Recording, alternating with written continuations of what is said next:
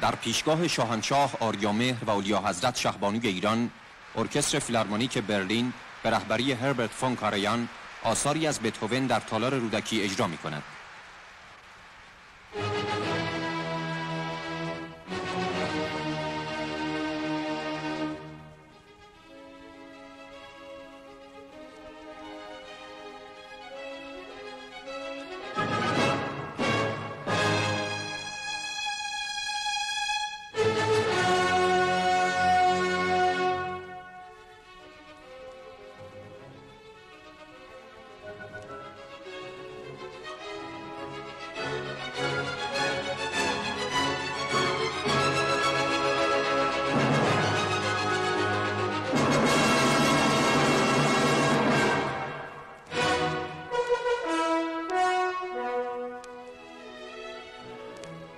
پس از اجرای برنامه اعلیحضرتین هربرت فون کارایان رهبر نامی و بزرگ ارکستر فیلارمونیک برلین را مورد تفقد قرار می دهند و قبل از ترک تالار رودکی از ماکت و نقشه های ساختمانی concert hall که قرار است در تهران ساخته شود دیدن می‌فرمایند.